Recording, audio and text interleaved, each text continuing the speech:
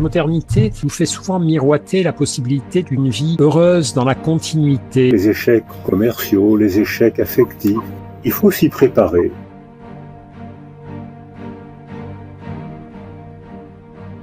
Quelle personne j'ai envie de devenir Parce que qui suis-je C'est quoi C'est mon angoisse On est souvent seul, on a acquis tous les facteurs de vulnérabilité, mais on peut les combattre. Si on souhaite se transformer, c'est pas seulement par la puissance de notre esprit, c'est... Chez Mentor Show, on est parti euh, d'un constat euh, très simple. Quand on est à l'école, on apprend beaucoup de choses, que ce soit l'histoire, que ce soit les maths, mais on n'apprend pas par exemple comment gérer ses émotions au quotidien ou encore comment gérer sa relation avec les autres. C'est pourquoi on a demandé à nos mentors de vous partager leurs meilleurs conseils à travers des exercices pratiques à réaliser en moins de 15 minutes chaque jour. Ça y est, nous y sommes. Bienvenue à tous dans cet événement inédit organisé par Mentor Show. Aujourd'hui, Christophe André, médecin, psychiatre et psychothérapeute, et Boris Cyrulnik, médecin, neuropsychiatre et psychanalyste, a fait beaucoup de, beaucoup de statuts aujourd'hui, euh, s'associe dans une webconférence pour échanger ensemble et vous apporter des conseils sur trois thèmes. Le premier, le monde qui nous entoure. Le second, la connaissance de soi-même. Et enfin, les relations avec autrui. Alors moi, j'ai une question avant de vous introduire, Boris et Christophe. J'ai une question pour tous les participants. Est-ce que vous êtes aussi excités que moi par le duo que forment Boris et Christophe pour cet événement. Il y a une petite zone de chat juste sur votre droite. Je vous laisse m'en dire plus par rapport à ça. Et puis Boris, Christophe, bienvenue. Merci, merci. Je vois qu'on est nombreux. Alors, je vais pas citer tout le monde. Il y a Anna, alors Sylviane, Sylviane de l'île de la Réunion, Léon du 31, Claudine, euh, Geneviève, Ursula, on est plusieurs milliers ce soir. On va passer euh, un, très très très bon moment. Oui, très motivé. Marie-Christine, Nicole. Oui, mes deux préférés. Vous voyez. Euh, Boris.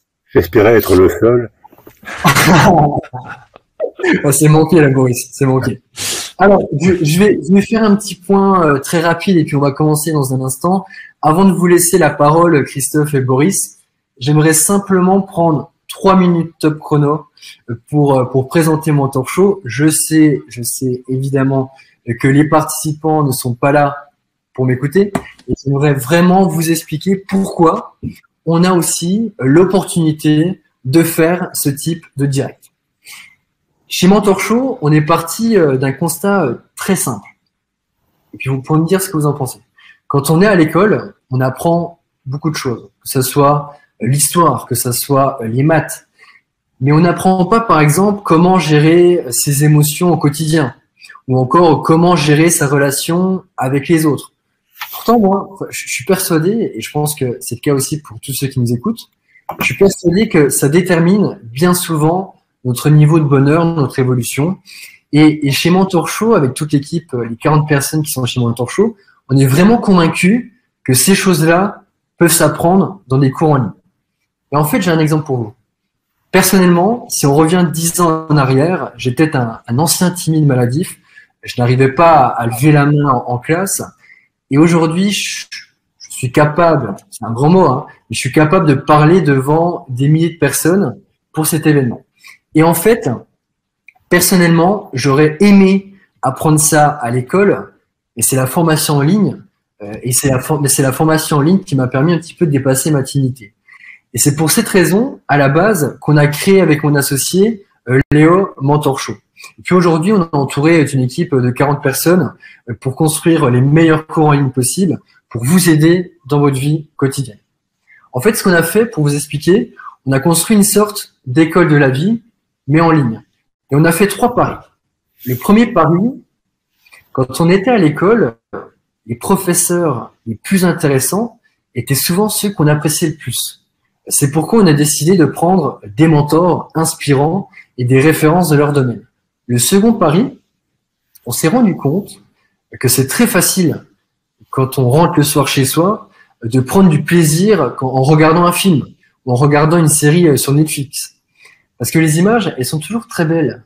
Et en fait, ce qu'on a fait avec nos cours en vidéo, c'est qu'on a utilisé les codes du cinéma pour prendre un peu plus de plaisir quand même quand vient le moment de se former.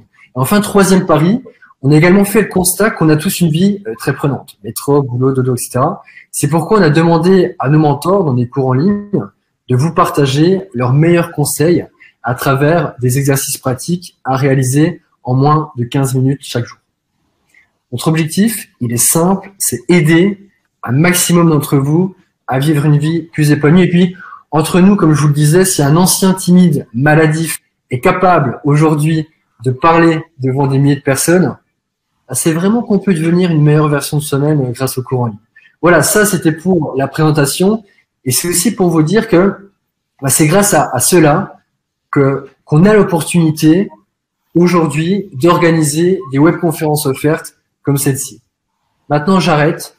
Euh, voici pour la présentation. Christophe, Boris, je ne voudrais pas mettre de l'huile sur le feu euh, et, parler de votre rivalité euh, légendaire côté rugby, mais peut-être Christophe, pour commencer, quel regard vous portez sur Boris et notamment sur ses différents travaux? C'est un regard. Enfin, il y a deux choses. Le même regard que tout le monde, un regard euh, admiratif euh, par rapport à, au travail de Boris, à ce qu'il nous apporte, à son talent d'auteur aussi. Je crois qu'on, si on veut faire changer les choses par ses idées, il faut savoir exprimer ses idées. Et Boris les exprime à, merveille.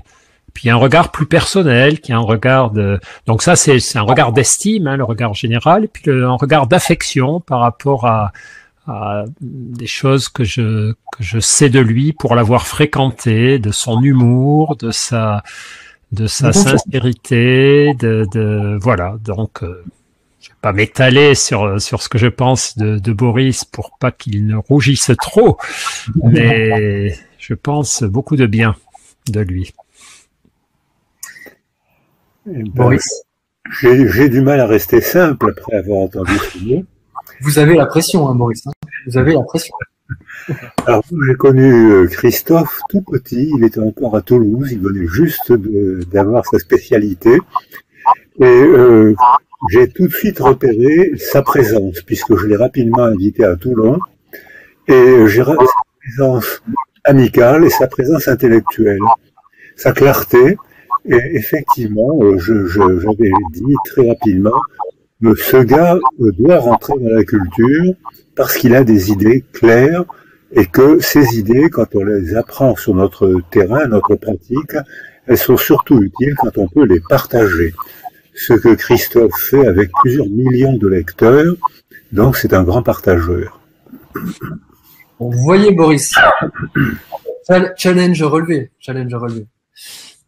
Boris, Christophe, sans plus attendre, je vous propose qu'on rentre directement dans le vif du sujet. Pour ceux qui nous rejoignent, je rappelle, on a trois thèmes. Le premier, le monde qui nous entoure. Le second, la connaissance de soi-même. Et le troisième, les relations avec autrui. Boris, sur le premier thème, j'ai une première question pour vous. Comment être prêt à affronter, à affronter toute crise? Je vous laisse répondre à ça. Alors ça peut être des crises évidemment euh, liées euh, euh, crise Covid, ça peut être une crise écologique, ça peut être un petit peu une crise sociétale, ça peut être aussi un peu une crise. enfin voilà, vraiment le monde qui nous entoure. quels seraient vos conseils pour affronter une crise? Alors il n'y a pas de biographie humaine sans crise. On y a droit tout le temps, et ce qui compte, c'est de les surmonter, de les affronter et de les surmonter.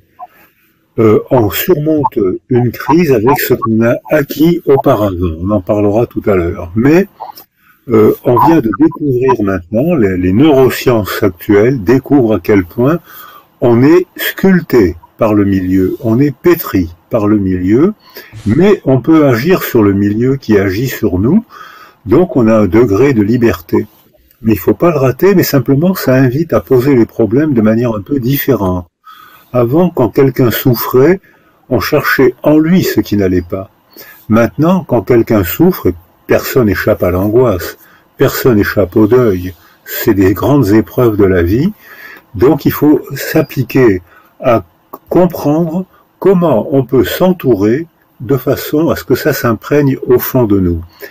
Alors on parle actuellement de la crise, mais je crois que le mot n'est pas correct. La crise vient du monde médical, il parle, il tombe, il convulse, il a une crise d'épilepsie, il se relève et il finit sa phrase. Or là, on ne pourra pas reprendre comme avant. Donc c'est pas une crise, c'est une catastrophe. Kata, au-dessus, strophaille, prendre un virage. Or, dans la condition du vivant, que ce soit chez les animaux, que ce soit en biologie, ou que ce soit chez les êtres humains, on évolue sous l'effet des catastrophes. Donc on souffre, bien sûr, mais on affronte et on essaye de profiter de cette expérience pour mieux vivre après et pour réorganiser non pas la même vie qu'avant, puisque ça l'a mené à la catastrophe, mais pour organiser une nouvelle vie. Et on voit que, par exemple, après le Bataclan, j'ai été ahuri par le nombre de gens qui ont décidé de changer de vie, changer de métier, aller plus souvent à la campagne. C'est la phrase que j'ai souvent entendue après la, la catastrophe de l'attentat du Bataclan. Les gens disaient, maintenant j'ai compris à quel point l'affection est importante, je ne raterai plus jamais l'occasion de dire à quelqu'un que je l'aime. Ça, c'est une reprise évolutive où on vit mieux après, mais ça n'empêche pas qu'on a souffert pendant. Alors, les, catastrophes sont innombrables dans la condition humaine. Euh, la catastrophe euh, euh, du virus, il y a eu les virus existent beaucoup dans la nature. ils existent tout le temps avec les bactéries, mais c'est pas des épidémies. Ce qui provoque l'épidémie, c'est l'hyperconsommation et l'hypercirculation. L'hyperconsommation, on, on invente des, des champs d'élevage de milliers, de dizaines de milliers d'animaux. Donc on détourne le fourrage. Au lieu de nourrir les êtres humains, ça va nourrir les animaux, le soja, on fait moins de blé, on transforme l'agriculture, on ajoute des substances pour que ça pousse mieux, et on donne des substances aussi aux animaux qu'on va manger, on leur donne des hormones pour gagner un peu plus d'argent, et ensuite on fait circuler tout ça, et un beefsteak euh, conçu en Argentine, avant d'arriver sur un boucher ou sur une table française, il a, il a tourné 2000 km en l'air. Donc, il a abîmé l'atmosphère. Donc, c'est nous qui faisons les catastrophes, qui faisons, on invente, on fabrique les virus et on les transporte. Est-ce qu'on va changer notre manière de vivre quand on sortira de l'épidémie? On n'en est pas loin, mais il y a un petit rebond parce qu'on ne se vaccine pas assez. Et pourtant, on n'en est pas loin. Euh, il y a dans la vie, c'est la même chose. Il n'y a pas de vie sans épreuve. Euh, même l'affection nécessaire à notre développement est parfois une épreuve. Euh, maman ne m'aime pas autant que je le veux. la première épreuve, c'est l'âge du nom. Au cours de la troisième année, les enfants sont d'abord tous sous l'emprise de leur mère, et puis au cours, de la troisième année, ils arrivent à l'âge du non, ils sont très fiers de pouvoir s'opposer à leur mère. Alors ils vont se cacher au moment où maman part au travail, et bien sûr, maman est obligée de chercher euh, le, le, bambin adoré qui est sous une table ou dans un placard, et quand elle le retrouve, au lieu de faire une fête affective comme espérait l'enfant, elle, elle le gronde et elle lui dit mais j'ai voilà mais j'ai mon train tu vas me le faire rater Première, premier malheur affectif, premier contresens affectif, maman nous aime beaucoup et pourtant on, ne s'est pas compris. Donc, première souffrance, bien sûr l'adolescence est la deuxième souffrance, et puis les échecs, on a tous notre part d'échecs à l'école, euh, on est, on a nos, échecs, nos échecs à l'université, nos échecs, nos premières déceptions amoureuses. Le premier amour se termine toujours mal, hein, vous êtes d'accord? il est d'accord. On est plutôt d'accord, Boris. le premier, d'abord parce que par définition, si on parle du premier amour, c'est qu'il y en a un deuxième. Donc, par définition, ça se termine mal. Eh bien, les évaluations d'attachement qu'on sait faire maintenant avec des tests scientifiques, on sait évaluer l'attachement, on constate que après le chagrin du premier amour, qui est une vraie souffrance, quand on dit aux jeunes, aux garçons, aux filles, un, une de perdu, dix de retrouvé, ben ça le blesse parce que c'est celle-là qui voulait, pas une autre. C'est celle-là. Et ben voilà, elle veut pas. Donc, ça, ça, c'est vraiment valable pour les filles, vous voyez. un, de perdu, dix de retrouvé. Mais ça, il faut pas le dire, on le dit plus même, parce que euh, les adolescents le prennent mal, ça ajoute à leur souffrance. Premièrement, et puis les échecs, les échecs commerciaux, les échecs affectifs, les échecs scolaires, euh, et puis les, les, grandes douleurs, les grands chagrins de l'existence, les deuils auxquels personne n'échappe. Eh bien, on doit se préparer à affronter tout ça. On sait ce qu'il faut faire maintenant. Euh, on en parlera tout à l'heure quand on parlera du monde intime, mais on sait ce qu'il faut faire. Il faut s'y préparer. Et après la catastrophe, après la blessure, les deux mots-clés, euh, c'est ce que j'ai souvent proposé, c'est le soutien affectif, même banal, et le sens à donner au malheur. Et alors là, on a besoin de littérature, de spiritualité, de Christophe André, de tout ce qu'il faut. Bah, bah, bah, justement, Boris, merci beaucoup. Maintenant, c'est intéressant aussi euh, d'avoir euh, votre vision, euh, Christophe. Comment on peut affronter une crise? Alors, il y en a beaucoup, évidemment. Quelle est votre vision des choses là-dessus? Boris a dit l'essentiel. Moi, il y a juste deux choses, effectivement, que que je, pourrais rappeler ou, pour compléter, c'est d'une part euh, que finalement la, vertu des crises et de cette crise notamment, c'est de nous rappeler, euh, comme le suggérait Boris, que l'adversité est inévitable. C'est vrai que la, la modernité en tout cas pour les Occidentaux et, les Occidentaux du XXIe siècle, la modernité nous fait souvent miroiter la possibilité d'une vie euh, heureuse dans la continuité, nous fait peu à peu considérer que l'adversité c'est anormal. L'adversité c'est un scandale, l'adversité c'est quelque chose qui ne devrait pas exister. Et ça c'est quand même un petit peu malheureusement contre nature, puisque la vie humaine jusqu'à présent, c'est quand même souffrir, vieillir, perdre, mourir. Donc, ça n'est pas que ça, heureusement, hein, mais euh, ça, reste quand même, euh, ces dimensions d'adversité restent quand même là. Et donc, moi, j'ai eu le sentiment que cette crise nous rappelait euh, que nous étions mortels, que nous pouvions tomber malades, que nous pouvions mourir ou que les gens que nous aimons pouvaient mourir et donc, évidemment, par rebond, ça nous a rappelé la valeur de la vie. Ça nous a rappelé à quel point la vie était belle. Euh, et c'est souvent comme ça que ça marche, la, la psyché humaine. Hein. Vous savez, il y a ce phénomène qu'on appelle l'habituation hédonique. L'habituation hédonique, c'est le fait qu'on s'habitue à toutes les chances euh, si elles sont présentes quotidiennement et constamment. On s'habitue à avoir deux jambes, on s'habitue à être vivant, on s'habitue à avoir de l'eau chaude pour se laver, à avoir un toit sur la tête, à vivre en démocratie. Euh, on ne devrait pas s'habituer à ça parce que ce sont à chaque fois des choses merveilleuses, mais on en prend conscience que lorsque nous les perdons.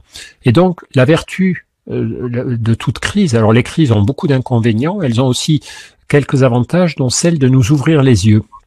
Et parmi les, choses aussi sur lesquelles cette crise nous a, nous a ouvert les yeux, euh, c'est euh, l'importance des liens. Nous avons, nous avons vu à quel point les liens avec les autres étaient précieux, que ce soit les liens anodins, hum, tout, tout simples, le, les liens avec les visages des gens dans la rue, que nous, nous, avons perdus pendant longtemps à cause du confinement ou à cause des masques, euh, et puis les liens aussi d'affection avec les personnes que nous avons été privés de, de voir, de retrouver aussi spontanément et facilement qu'autrefois. Donc, effectivement, moi, ce sont ces, euh, c'est une sorte de, de, coup de marteau euh, euh, sur la tête que nous a infligé cette crise, mais qui nous a permis aussi et qui continue de nous permettre de réfléchir et de repenser ce que doit être notre avenir. Alors, comme disait Boris, ben ouais, il y a, quand même, on a compris que si on continuait de, de, à vivre de la même façon, les choses allait, allait finir mal. Euh, on a compris aussi que c'était pas si simple que ça de changer, mais ça on va en reparler certainement. Donc voilà, pour euh, pour pas être trop long, ce que je, je, je souhaitais rajouter à la parole de Boris. C'est parfait, merci. Alors, je, je vois qu'on a ouvert euh, le débat sur le vaccin de la zone chat. Et j'ai envie de vous dire, la vie est un débat, donc on va se recentrer maintenant sur la connaissance de soi-même. Parce que c'est vrai que quand, des crises arrivent, bien, souvent, ça nous impacte aussi directement, même si parfois elles sont, euh, elles euh, elles sont externes, elles sont extérieures à nous-mêmes. Christophe, pour poursuivre euh, sur ces points, il y a une question qui revenait beaucoup de la part des inscrits à cet événement. Comment être pleinement soi-même dans cette société un, petit peu folle, je vous avoue? euh, Comment être pleinement soi-même? Ben, euh, euh, Ouais, je vais, je vais faire, je vais faire comme font souvent les les psychanalystes et les psychiatres. Vous savez, le, psychiatre, c'est quelqu'un, ou le psychanalyste surtout, mais Boris sait ça mieux que moi, qui, quand vous lui posez une question, vous, vous répond par une autre question. Et pourquoi vous me demandez ça? Qu'est-ce qui vous fait penser à ça? Pourquoi être euh, finalement au lieu de, me poser la question comment être pleinement soi-même, moi j'ai tendance à me poser la question pourquoi chercher à être soi-même dans la mesure euh, d'abord où on n'est pas très sûr de, de, cette, de ce que ça veut dire être soi, euh, puisqu'au fond, ben, être soi-même, c'est jamais la même chose. Je suis plus la même personne aujourd'hui que je l'étais il y a il y a 10 ans, il y a 15 ans, voire hier. Je ne serai plus la même personne demain. Alors il y a des invariants, mais il y a aussi tellement de choses qui changent. Et puis, on, s'est aperçu en, faisant des, petites expériences sur euh, la manière dont les gens se percevaient que la plupart d'entre nous, même tous les humains, se connaissent très mal. On appelle ça l'effet Barnum. On, euh, on, avait fait ça, par exemple, par rapport à des portraits astrologiques où les gens euh, envoyaient leur date de naissance, leur lieu de naissance, et on leur, on leur renvoyait un portrait astral, soi-disant un portrait sur mesure, d'après leur leur heure, leur date et leur lieu de naissance. Euh, et ce portrait astral, ce portrait psychologique était le même pour tout le monde. Et on leur disait des choses euh, qui étaient assez simples. On leur disait, vous êtes quelqu'un de très sensible, vous êtes plein de contradictions, il y a beaucoup de choses en vous, beaucoup de projets que vous n'avez jusqu'à présent pas réussi à réaliser et vous vous en voulez un petit peu, vous n'aimez pas faire de mal aux autres, mais euh, ça vous arrive d'en faire parfois et, et vous n'aimez pas beaucoup ça, évidemment. Enfin, bref, on, met trois pages de portraits comme ça et c'est le portrait d'un être humain, globalement. Et la plupart des gens disent, oui, c'est tout à fait moi. Euh, la plupart d'entre nous, on a l'impression qu'on vient de dresser notre portrait personnel, alors que c'est un portrait universel de la sensibilité humaine, de la fragilité humaine, des contradictions humaines. Alors je suis pas en train de vous dire que tous les humains sont des clones, je suis en train de vous dire qu'il y a peut-être des, des efforts ou des questions ou des quêtes à cultiver en nous plus importantes que être soi-même. Je crois que euh, il y a peut-être une quête qui est plutôt de, de, de se transformer, de se bonifier, d'être soi mais en mieux. C'est-à-dire on est chacun euh, conscient de ses capacités et de ses défauts. On est chacun conscient euh, des choses qui ne vont pas chez nous et, et alors, est-ce que c'est vraiment nous, ces choses-là? Est-ce que vous parliez de votre timidité tout à l'heure, Mathieu? Ben, quand vous étiez très timide, est-ce que vous aviez l'impression d'être vous-même pendant les crises de timidité ou au contraire, est-ce que vous aviez l'impression que c'était ce qui vous empêchait d'être vous-même? C'est compliqué cette question. Voilà. Et, voilà. Et donc, en fait, c'était pas ça votre le, le problème. C'était pas ça. C'était comment me débarrasser de cette foutue timidité qui m'empêche peut-être d'être moi-même ou qui est trop moi-même, et mais qui m'empêche d'aller vers mes idéaux, d'aller vers mes objectifs de vie. Et je crois que ce qui est important pour chacune et chacun d'entre nous, c'est plutôt de se dire de quoi j'ai envie, vers quoi je veux aller, de quel idéal je souhaite me rapprocher et dans ce cas-là, quel type d'effort je dois faire. Et ça, ce sont de vraies questions. Ben, c'est d'ailleurs les questions auxquelles vous cherchez à répondre avec avec Mentor Show, hein, vos, histoires. Là, le Mentor Show, c'est pas qui suis-je, c'est comment m'améliorer, comment me transformer, comment évoluer pour aller davantage vers euh, ce que j'ai envie de devenir. Et au fond, c'est qu'est-ce quelle personne j'ai envie de devenir, quelle qualité j'ai envie de développer plutôt que qui suis-je Parce que qui suis-je, c'est quoi? C'est mon angoisse ou c'est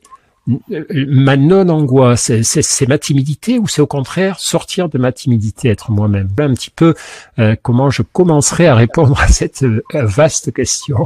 C'est intéressant.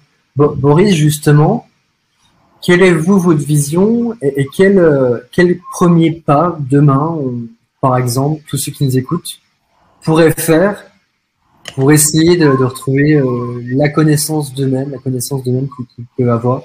Quels seraient les premiers pas, d'après vous? Alors, c'est difficile de se connaître et c'est pourtant nécessaire. Euh, c'est difficile pour une raison bien simple, c'est que on change tout le temps et pourtant le sentiment incessant d'être le même. Euh, je suis le même que quand je suis arrivé au monde et je n'ai pas changé. Euh, et j'ai toujours la représentation de moi, je suis moi. Mais comme, euh, comme l'a dit Mathieu, il y a des moments où on est à l'aise, on se sent soi-même, parce qu'on est en articulation, on est en harmonie avec son milieu. Ce que je suis correspond à ce qui est autour de moi. Donc là, je me sens bien, c'est un moment, c'est des mois, des années de, bien-être, et puis tout d'un coup, quelque chose se passe en nous ou autour de nous, et l'harmonie se fait moins bien, et j'ai moins confiance en moi. Ou je peux être timide. Timide, ça veut dire que je n'ose pas m'exprimer parce que j'ai un détracteur intime. Je pense que, que quelqu'un va mal me juger. C'est moi qui pense ça. Je pense que je suis sans arrêt jugé, mais finalement, Peut-être que l'autre me surestime, on ne sait pas. L'autre me surestime ou me sous-estime. Donc ça veut dire que je dépends de l'autre parce que effectivement, nous, êtres humains, on ne peut pas vivre sans autre. Mais ça ne veut pas dire que ce soit facile de vivre avec un autre. On ne peut pas vivre sans autre parce qu'on voit euh, avec les enfants qui se développent dans une famille difficile, une famille malheureuse, ou dans un pays en guerre, ou surtout les enfants qui se développent en carence affective, ça c'est la grande cause d'altération, euh, c'est la grande cause de manque de confiance d'un enfant. Quand il est en carence affective, il n'acquiert pas la confiance en lui, et à ce moment-là, un processus se déclenche, il n'ose pas s'exprimer, et il se fait de lui une image qui ne correspond pas à la réalité. Je pense que personne ne m'aime parce que je ne sais pas m'exprimer. Eh bien, le premier pas à faire, c'est tout simplement de moins se soumettre au regard des autres et à ce moment-là et de plus centrer sur soi-même. C'est le connaître toi-même des philosophes grecs, mais c'est difficile, c'est nécessaire et c'est pourtant difficile. C'est nécessaire parce que si je ne me connais pas, ben, je ne sais pas comment agir, je ne sais pas quoi faire, je ne sais pas quelles sont mes valeurs, je ne peux pas interagir avec les gens et la société qui sont autour de moi. Mais euh, comme je le disais tout à l'heure, je passe mon temps à changer. Je ne suis, quand j'étais enfant, j'avais besoin d'une sécurité affective. À l'adolescence, j'avais besoin de changer de sécurité affective. Quand je me suis marié, j'ai trouvé une autre sécurité affective. Quand j'ai des enfants, et à chaque fois, c'est un problème nouveau à résoudre, alors que j'ai le sentiment d'être toujours le même et que j'ai pas tout le temps changé. Donc, ce qui, la conduite à tenir, c'est d'attacher plus d'importance à soi et moins d'importance au regard des autres. Et on voit qu'à ce moment-là, petit à petit, c'est surtout dans l'action qu'on se révèle. L'action, un mot, un engagement, une déclaration. Et l'action a un très grand effet tranquillisant. Et notre culture moderne a oublié ça. La culture ancienne, il y a deux générations, les hommes et les femmes ne fabriquaient du social qu'avec le corps, à l'usine, à la maison, euh, c'était aujourd'hui on fabrique du social avec les mots et avec les diplômes. Et ça, c'est beaucoup plus difficile à évaluer.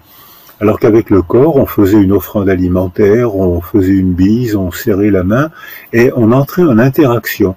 Et c'est beaucoup plus facile d'entrer en interaction avec le corps qu'entrer en interaction avec des mots, parce qu'on a peur de se tromper, on a peur que l'autre nous juge mal.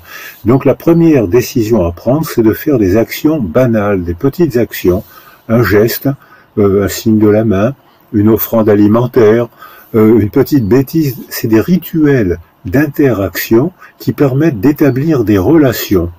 Et à ce moment-là, petit à petit, on découvre avec étonnement qu'on prend confiance en soi. C'est facile la vie au final. moi, moi, moi, au final, je me dis qu'on est tous un petit peu schizophrènes. Parce qu'au fur, au fur et à mesure, au fur et à mesure des évolutions euh, et, des crises qui arrivent dans nos vies, on évolue quand même au fur et à mesure du temps. On a différentes personnalités qui, euh, qui prennent le pas sur nous. Euh. Alors, Christophe, est-ce que vous voulez ajouter quelque chose rapidement ou est-ce que vous voulez qu'on passe au troisième thème sur la relation avec autrui?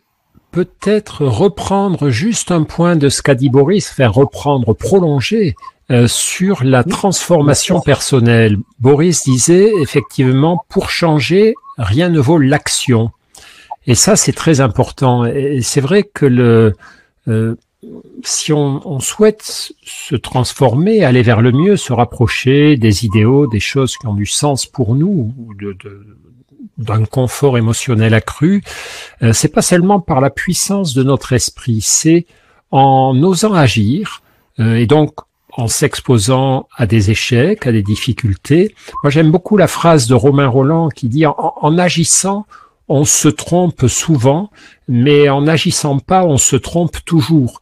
C'est-à-dire que chaque fois que j'évite euh, de, de, tester des nouvelles façons d'être, des nouvelles façons de faire, eh bien, je, non seulement je n'apprends rien, mais je me renferme encore plus dans la vision négative, impuissante, limitée de moi-même. Je sacrifie mon, mon développement personnel à ma sécurité émotionnelle. Donc, c'est vrai que la plupart des, des transformations euh, vers lesquelles nous souhaitons aller, euh, nous allons les, accomplir par des mises en action qui vont nous faire souffrir parce qu'elles vont nous exposer à certains moments à l'échec, mais qui vont aussi être des enseignements euh, sur comment je pourrais faire la prochaine fois, qu'est-ce que qu'est-ce qui marche, qu'est-ce qui ne marche pas, etc.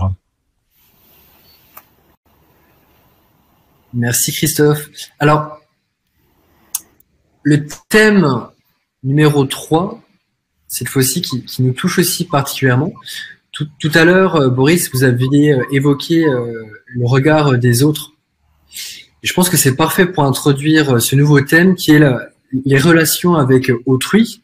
Alors que ce soit euh, des relations euh, professionnelles avec nos collègues, que ce soit des relations avec euh, famille, avec nos amis.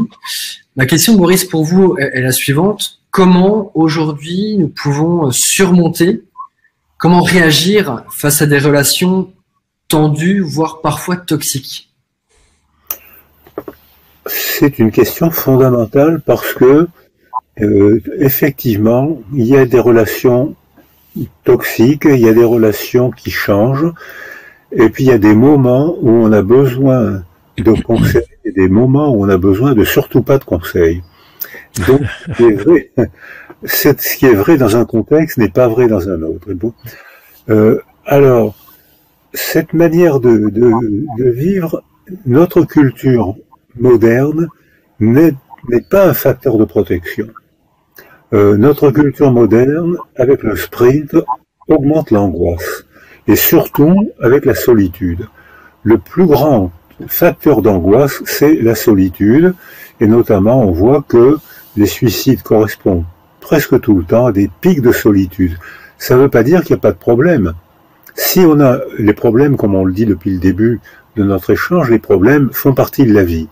Mais si on est seul à les affronter, des idées terribles peuvent nous venir en tête. Si on est entouré, on aura le problème, mais ces idées définitives viendront beaucoup moins en tête. Or, dans notre culture moderne, on est au sprint et on est souvent seul, donc on a tout, on a acquis, notre culture nous donne tous les facteurs de vulnérabilité. Mais on peut les combattre. Par exemple, euh, avant euh, l'épreuve, si on a été bien entouré, on a inscrit dans sa mémoire des facteurs de protection. On a acquis une bonne conscience de soi, une estime de soi, et même si on a un pépin dans la vie, ce qui est inévitable, on souffre, mais on sait qu'on va surmonter. Alors que, avant l'épreuve, si on a acquis des facteurs de vulnérabilité, on souffre et on pense qu'on va pas surmonter l'épreuve. Donc, on se met soi-même un facteur de vulnérabilité. Donc ça veut dire que on peut agir avec nos enfants ou avec nos amis euh, en les entourant quand eux sont en facteur de en, moment de difficile. Et quand nous ça nous arrivera eh bien eux ils sauront on aura établi une relation de réciprocité et eux sauront nous téléphoner nous inviter dire un mot banal. Et, très souvent par exemple euh, quand j'avais remis mon rapport sur le, le suicide au gouvernement j'avais été frappé de voir à quel point un mot peut désarmer et décourager du suicide, arrêter l'idée suicidaire. Mais ce mot, parfois, il vient pas. Les gens sont prisonniers de leur souffrance parce qu'ils sont isolés et ce mot ne vient pas. Alors que parfois, un coup de téléphone suffit à désarmer, un mot gentil, une bêtise de la vie, une relation humaine suffit à désarmer. Mais voilà, ça vient pas toujours, et dans notre culture moderne, ça vient de moins en moins. Donc il faut le savoir et le prévenir. Soit avant, en établissant des liens avec les gens qui nous correspondent.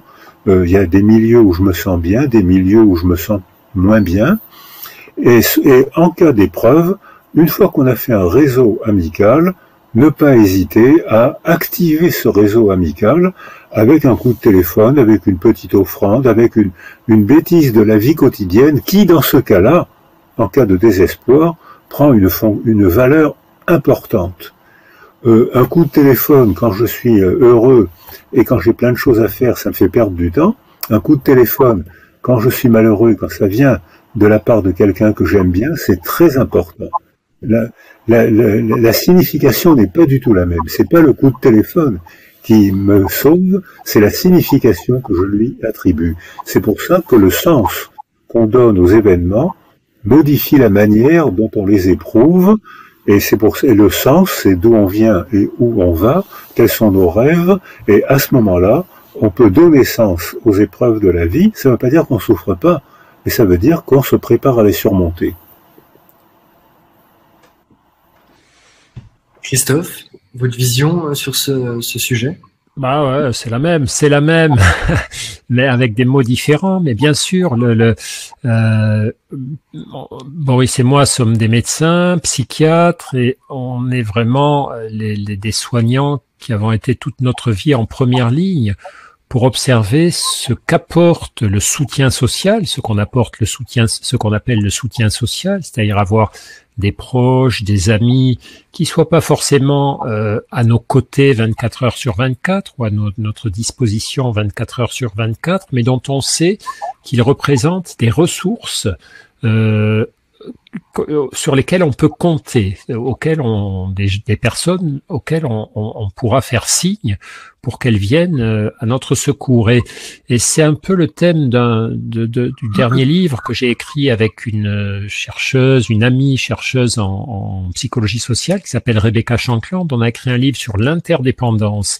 Ce qu'on appelle l'interdépendance, c'est euh, ce, ce, ces liens très étroits qui nous relient les uns, les uns aux autres et dont la, la devise c'est tout seul on va plus vite. Boris parlait tout à l'heure de l'obsession d'aller vite, de foncer, de faire des sprints. Tout seul on va plus vite, mais ensemble on va plus loin. C'est-à-dire que, bien sûr, tout seul on va plus vite, mais comme on sait que tôt ou tard on aura des, obstacles sur le chemin, la présence des autres, c'est quelque chose qui va nous motiver, nous aider.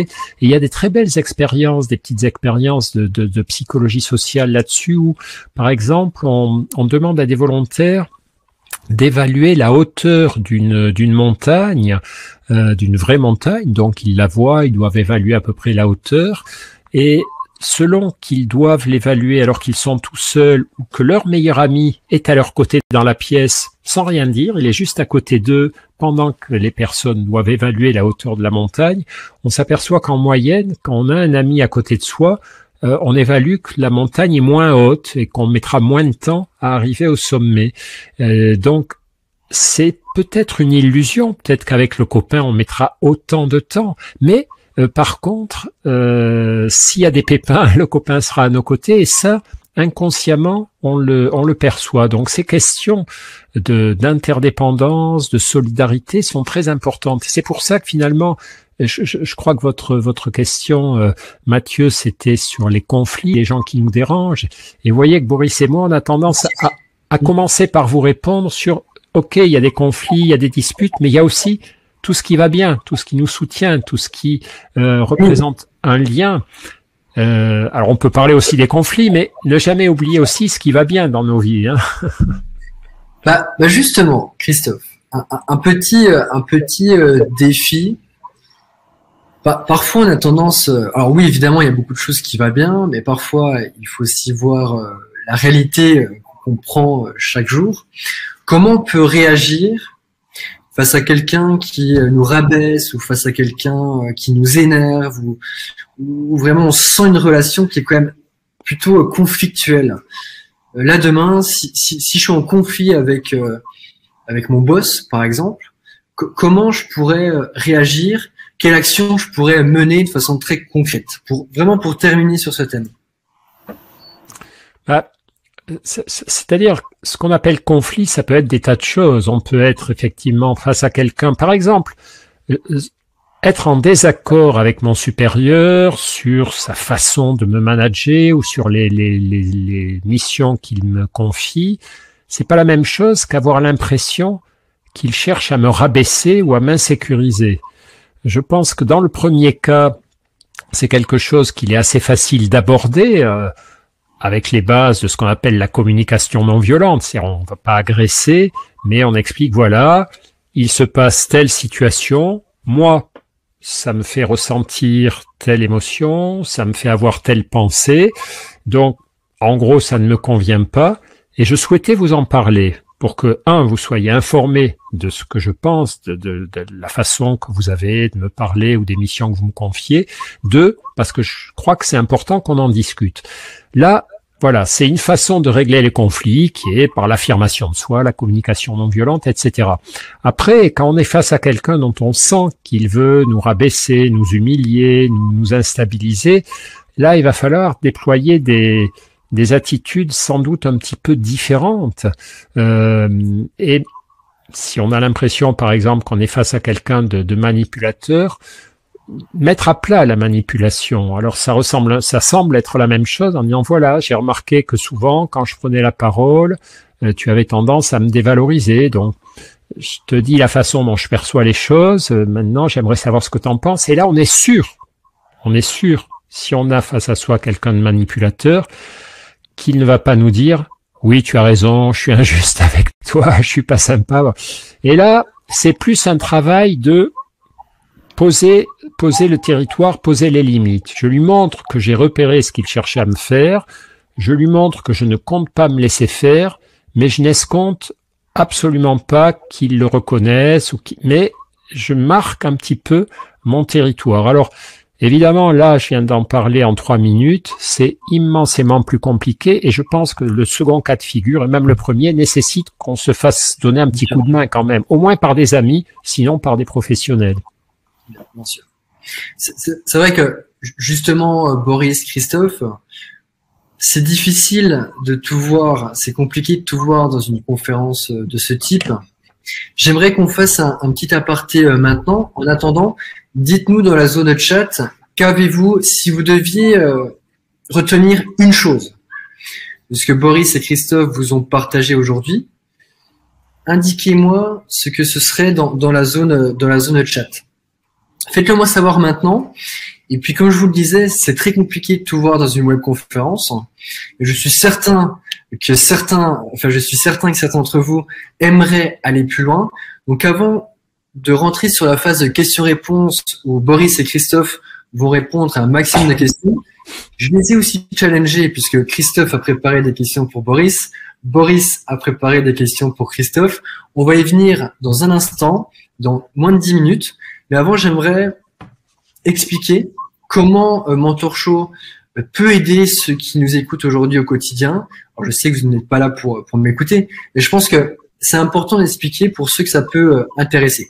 Christophe, Boris, si ça vous va, je vais prendre 5-6 minutes et puis après, on va pouvoir passer à la phase de questions-réponses. Alors, pour vous présenter Mentor Show et notamment notre passe, notamment notre passe illimité, j'aimerais commencer par un point très important qui est le suivant. Comment on construit nos différents cours? Alors, avant chaque cours, on demande à des milliers de personnes ce qu'ils souhaitent améliorer dans leur quotidien. Et, voici ce que euh, les clients nous ont demandé en, priorité. Alors, ça dépend évidemment euh, de tout un chacun. Là, vous voyez un petit peu euh, les backstage de la construction des cours, mais ça, on y reviendra, on y reviendra dans un instant. Au niveau des différentes problématiques qu'on cherche à résoudre, on a notamment comment retrouver un équilibre du calme et la sérénité quotidien, comment concrétiser un rêve d'enfant en allant en bout de son premier roman, comment appréhender un événement difficile euh, qu'on traverse, comment avoir des techniques pour soulager euh, le stress, soulager l'anxiété, et puis beaucoup d'autres choses. Donc on commence toujours par demander aux gens ce qu'ils souhaitent améliorer. Ensuite, on va demander à chaque mentor de construire un plan d'action avec des conseils, avec euh, des, des, conseils étape par étape pour vous permettre de progresser avec des actions pratiques à réaliser en moins de 15 minutes chaque jour. C'est ce qu'on a fait avec Christophe, c'est ce qu'on a fait aussi avec Boris. On est parti ensuite, troisième étape, sur 6 à 8 mois de travail avec chaque mentor et avec notre équipe de 40 personnes pour construire le meilleur cours possible. Et ça, c'est ce qu'on fait aujourd'hui chez Mentor Show. Et je dois vous faire une petite confidence. On reçoit chaque jour des témoignages. Euh, nos membres également disent que, euh, que ça fonctionne. On a une statistique intéressante. D'ailleurs, je pense que Boris et Christophe, je ne sais même pas si je vous l'avais partagé. On a posé la question euh, suivante à, à nos différents membres. Selon vous, les masterclass de Boris et Christophe vous ont-elles aidé à vous sentir mieux au quotidien? Et donc 87% des gens ont répondu oui. Et ça, ça montre une chose, c'est que c'est possible de changer aussi notre quotidien euh, grâce à la formation. J'en suis évidemment à la preuve vivante puisque euh, c'est un ancien timide qui parle devant vous. Mais il n'y a pas que moi. Vous voyez, il y a quelques témoignages. Euh, vos cours, Christophe, me permettent de mieux appréhender cette page difficile que je traverse avec mon mari. Un tout grand merci, Monsieur Célonique, pour la clarté de vos propos. C'est un bonheur de vous écouter. on a également d'autres d'autres témoignages. J'aime la, la, simplicité et l'authenticité de cet homme. Euh, je ne me savais pas autant impacté par le drame vécu par mes parents. mais Mes premiers jours ont été ont dû être trop difficiles à vivre. Ainsi, mon démarrage a dû être raté et je n'ai pas eu la lucidité, Monsieur Cyrulnik. Oui, Boris, euh, la résilience, comme quoi, ça a également euh, du bon le fait de transmettre, le fait de transmettre tout ça. Évidemment, je pourrais vous partager tout un tas d'autres témoignages, mais j'ai bientôt fini.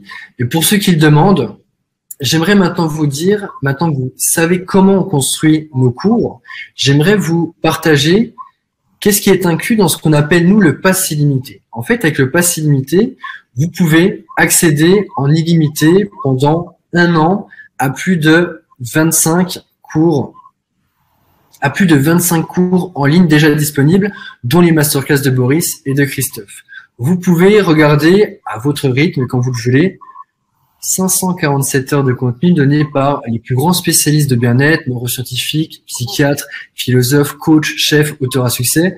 Vous pouvez également découvrir chaque mois deux nouvelles masterclass, comme prochainement la, la seconde masterclass de Christophe. C'est une petite, euh, une petite info euh, en live, mais aussi celle de Frédéric Lenoir, de Fabrice Midal, et j'en passe. Et c'est vrai que on voit un petit peu euh, de tout sur Internet. Il y a, beaucoup de beaucoup de, prix et, pour ceux qui sont euh, intéressés, j'ai une petite confidence euh, à vous dire. Ne commandez surtout pas les 25 cours à l'unité, ce qui reviendrait environ 2500 euh, euros. Simplement parce que avec le pass illimité, pour accéder pendant un an à, plus de 25 masterclass déjà disponibles et à celles à, à celles ajoutées chaque mois, le prix du pass illimité affiché actuellement sur notre site est de 247 euros par an. Mais pour euh, fêter un petit peu le lancement de cet événement. C'est la première fois qu'on organise ce type d'événement en duo avec plusieurs mentors et on va le refaire dans, euh, dans les semaines à venir. Et puis aussi pour vous encourager à passer le pas, on a décidé de vous remercier en vous proposant 100 euros de réduction avec un tarif spécial de 147 euros la première année et qui est uniquement valable jusqu'à ce soir. C'est-à-dire que j'aime bien souvent prendre cette expression, pour le prix d'un ticket resto chaque mois, on peut se former, on peut progresser, on peut accéder au savoir des personnalités les plus inspirantes du moment. Et puis, on est tellement convaincu de la valeur de nos cours qu'on a mis en place une garantie satisfaite ou remboursée de 14 jours. Voilà. c'est tout. Maintenant, je vais vous expliquer comment rejoindre dès maintenant le Passimité. C'est très simple. Il y a une petite, un petit message qui va s'afficher sur votre droite ou en bas. Ça dépend encore une fois si vous êtes sur ordinateur ou sur mobile. Ou alors, vous pouvez ouvrir un nouvel onglet et taper dans l'URL mtor.sh slash pass. Et donc, une fois votre commande finalisée, vous pourrez immédiatement accéder à toute une masterclass en illimité. Voilà. Boris, Christophe, c'était un petit peu l'instant, euh, l'instant euh, découverte du pass illimité. Maintenant, revenons au vif du sujet. Il me semble, Boris, Christophe, avant de répondre aux questions des participants, il me semble que Christophe, vous avez préparé quelques questions pour Boris, et puis après, inversement, je vous laisse, je vous laisse challenger Boris. C'est moi qui commence. Ah, alors, c'est qui, qui commence C'est Christophe qui challenge Boris pour commencer. Bon. Cher Boris, cher Boris, sachant que tu es un modèle pour moi, euh, je voulais savoir quel était ton secret euh, pour euh, avancer aussi bien en âge. Tu es un peu mon aîné, tu as bientôt 104 ans quand même et tu les portes avec beaucoup de... je rigole, hein, je rigole. Euh, non, mais sérieusement, euh, tu vois, ça c'est un truc qui, qui c'est vraiment une question sincère. Moi, je trouve que tu es un, quelqu'un de, de, de, de, merveilleux, avoir avancé en âge. On se connaît, comme tu le disais. Je crois que ça, il me semble qu'on se connaît depuis 40 ans, un truc comme ça. Quand, quand on s'était croisé à Nantes, que tu m'avais vu faire mon topo, puis que tu m'avais invité à Toulon, je crois que c'était en 80, 84, enfin j'en sais rien. Donc j'ai vu, j'ai vu comment tu avançais, j'ai vu comment tu changeais, et à aucun moment je me suis dit Boris euh, vieillit mal, Boris. Euh, ça, à chaque fois, je trouve que c'est toujours chouette de te revoir, de te retrouver, et, et, et je dirais pas que c'est de mieux en mieux, mais voilà. Et donc c'est quoi ton truc Eh bien, je veux te le confier dans l'intimité. C'est que ma femme dit que je suis narapoïaque. Le paranoïaque, c'est celui qui voit du mal partout, et moi je suis narapoïaque, c'est-à-dire que je délire tellement que je suis convaincu que tout le monde me veut du bien. Donc, euh, faut être malade pour ça parce que c'est pas toujours vrai. Mais ça veut dire que je suis attentif à tout ce qui peut venir de bien d'un autre. Et je reçois ça comme un cadeau et je m'empresse de lui faire un contre-cadeau. Donc ça fait des relations affectives, amicales, très gaies. Dans tous les groupes de recherche que j'ai dirigés ou auxquels j'ai participé, il y avait une grande amitié, une grande gaieté. Et je crois que ça, c'est le meilleur médicament. Mais dans les questions euh, qui sont sur le chat, je vois que beaucoup de gens parlent aussi de respiration. Et je crois que c'est très bien, parce qu'il y a un moment où il y a un rythme à trouver, il y a un moment où j'ai besoin d'aller vers les autres, et puis tout d'un coup, il y a un moment où j'ai besoin de me replier, d'être seul. Puis quand je suis seul trop longtemps, j'ai à nouveau besoin de rencontrer, et puis quand je suis fatigué de trop de rencontres, j'ai besoin de me replier sur moi-même. Et ce rythme-là, c'est le rythme de la vie, c'est le cœur, c'est la marée, c'est le jour, la nuit, c'est la marée montante, la marée descendante. Donc je pense qu'il y a un rythme à trouver. Ce qui est vrai à un moment n'est plus vrai le moment suivant. Mais ce qui est vrai, c'est que quand on arrive à trouver son rythme, on, s'étonne d'avoir du plaisir à rencontrer, du plaisir à réfléchir. Et quand une inévitable épreuve arrive, on souffre, mais puisque dans notre mémoire on sait qu'il y a une solution possible, on souffre, mais on sait qu'il y a un espoir possible. Mais c'est pas un espoir. Alors, j'ai aussi eu un grave défaut. Je crois que ce défaut m'a sauvé. C'est que j'ai beaucoup rêvé. Euh, et que quand la réalité devient trop dure, je prends un livre, je vais au cinéma et je me réfugie dans la rêverie, comme le disait Papa Freud. Mais je ne reste pas dans la rêverie. Il y a des moments où il faut rêver il y a un moment opposé où il faut se retrousser les manches pour entrer dans la réalité. Et là, je retrouve encore le, rythme nécessaire pour vivre le moins mal possible. Mais tu as dit, j'ai 104 ans, c'est vrai, mais est-ce que tu, sais que génétiquement, on est conçu pour vivre 120 ans? Tous ceux qui meurent avant l'âge de 120 ans ont le droit de déposer une réclamation. bonne, réponse, Boris. Merci, Boris. Mais moi, Boris, je connais votre secret. Lundi, avion, mardi, train, mercredi, avion, train, et c'est ça toute la semaine. Boris, quelle est votre question pour, pour Christophe? Je pense que Christophe, vous en avez d'autres. On va laisser Boris euh, vous poser une question, puis après Alors, euh, Christophe a introduit dans la culture euh, quelque chose qui permet de s'améliorer euh, avec ce qui est autour de nous et ce qui est en nous. La méditation. Il a été, je crois, un des tout premiers à travailler ce sujet euh, et comme, qui maintenant imprègne notre culture. Est-ce que tu vois un rapport entre ce que nous on appelle l'acquisition de l'attachement sécure, c'est-à-dire on, est, on a une tranquille confiance en soi, pas excessive, mais on va se débrouiller, donc ça me donne un élan vers l'autre et j'ai du plaisir à l'écouter. Et que cet élan vers l'autre et ce repli sur soi, cette alternance, donne une sensation de paix intérieure. Est-ce que d'après toi, c'est proche de la méditation? En tout cas, je, crois que la, méditation, effectivement, nous aide à aller vers ça, puisque contrairement à ce que pensent beaucoup de personnes, méditer, ça n'est pas se couper du monde ça ressemble à ça. Quelqu'un qui médite, effectivement, c'est quelqu'un qui s'est mis un peu à l'écart, qui a fermé les yeux, qui qui se centre sur son expérience intérieure. Donc, on dirait quelqu'un euh, qui trouve que la vie est trop dure et qui prend un moment pour souffler, pour se, se, pour récupérer, pour se régénérer. Euh, alors, il y a de ça quand on médite, parfois on médite pour apaiser son stress, pour apaiser sa colère, pour se recentrer, comprendre un peu ce qui nous arrive quand la vie nous bouscule, mais euh, très souvent aussi, ou très souvent après cette phase, euh, la méditation, c'est une démarche qui va nous aider, au contraire, à nous mettre en lien avec le monde. Quand tu médites, tu observes ta manière de réagir à des événements euh, du monde qui t'entoure. Tu observes ta manière de réagir à des paroles qui t'ont peut-être blessé, ou au contraire qui t'ont réjoui, euh, ta manière de réagir à, à des soucis que tu as, auxquels tu as pu être exposé en regardant le journal télévisé, en lisant, en lisant, en regardant les infos.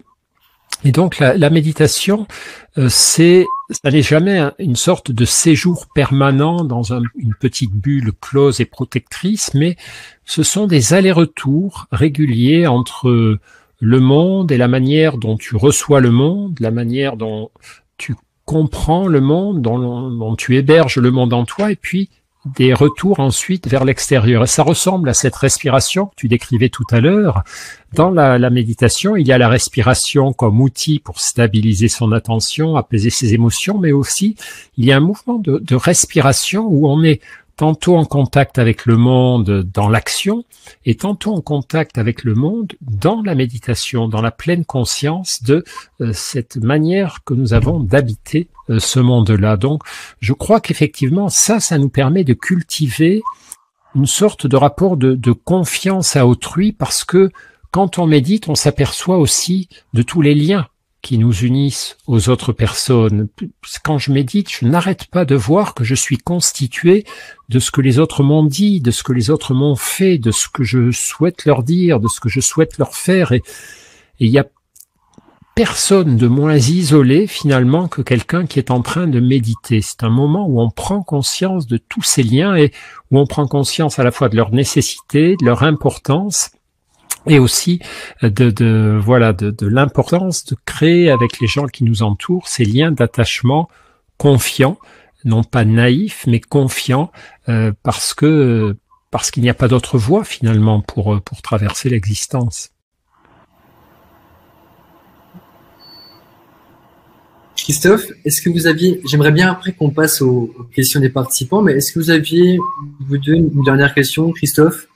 Euh, Peut-être pour Boris, une dernière question ah bah, après, on passe directement Non, mais moi, j'aimerais que Boris nous fasse un petit digest, un petit bilan quand même, même s'il lui reste encore euh, un demi-siècle à vivre, euh, grâce à sa méthode infaillible.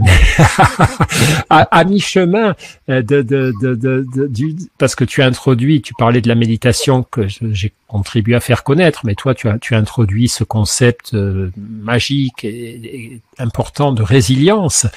Donc là aussi, quel bilan tu fais quel bilan tu tires finalement de la manière dont notre société a accueilli cette euh, notion de résilience, l'usage qu'elle en a fait, et au fond, comment ça nous a transformé, comment cet outil conceptuel de la résilience nous fait peut-être voir l'adversité et la manière dont on traverse l'adversité différemment. C'est pas, c'est pas du tout pareil. Si tu veux, tu parlais de quand je, je quand j'étais jeune psychiatre, tu, tu m'as vu faire mes premiers pas. À l'époque, c'était pas du tout comme ça qu'on voyait les traumatismes. On ne voyait que la destruction, que les séquelles, les cicatrices. Ça, tu as changé ça. Alors merci pour ta question parce que c'est effectivement l'enjeu euh, de la résilience. Avant d'introduire le concept et les méthodes expérimentales de la résilience, quand quelqu'un était traumatisé, et on disait il est perdu. Quand un enfant était isolé, euh, on disait ben voilà, euh, c'est son destin, et on ne s'occupait pas de lui. Et en effet, puisque on ne s'occupait pas de lui, ben il allait de plus en plus mal. donc on créait ce qu'on on créait ce qu'on craignait. C'est les prophéties autoréalisatrices. Alors actuellement, la résilience entre très bien dans la culture et comme toujours quand un concept entre bien dans la culture, il y a des contresens. Alors, euh, mais c'est vrai pour tous les concepts scientifiques. Euh, L'ADN euh, est très bien rentré dans la culture, mais quand j'ai entendu il n'y a pas longtemps un homme politique dire euh, je, me présente à la, à la présidence, c'est dans mon ADN, il fait un contresens total parce que lui, il veut dire c'est au plus profond de moi, et tout le monde a compris, et en fait l'ADN change tout le temps quand change le milieu. L'ADN s'exprime de manière très différente, mais c'est normal, tous les concepts comme ça, c'est la polysémie des mots. Les mots ont plusieurs sens. Quand euh, tu rentres chez un antiquaire en disant ce secrétaire est très beau, euh, je voudrais l'acheter, tout le monde comprend que tu veux acheter un meuble et tout le monde comprend que tu ne veux pas acheter le secrétaire qui est en train de faire les papiers au fond du couloir. Donc euh, le même mot désigne un meuble ou désigne un métier et personne ne se trompe. Donc on voit que le concept de résilience est très bien accueilli par les scientifiques, que la, qu'il y, y, a beaucoup de des milliers de thèses, de publications, de congrès sur la résilience, et que de temps en temps, il y a euh, des, des contresens sur la résilience qui font partie de l'évolution normale des concepts scientifiques quand ils rentrent dans la culture. Le mot idiot était un concept scientifique à l'origine, c'était le test de Binet-Simon. Mmh. Quand tu traites quelqu'un d'idiot aujourd'hui, ce qui ne t'arrive sûrement jamais, quand tu, tu, ne penses pas au test de Binet-Simon. Donc on peut prendre des exemples comme ça, c'est l'évolution des mots, ça fait partie de, de, notre, de toute culture. Merci, merci. merci Boris, merci Christophe. Je vous propose maintenant qu'on prenne un petit moment pour répondre aux questions euh, des participants. Alors, il y a vraiment beaucoup, beaucoup de questions.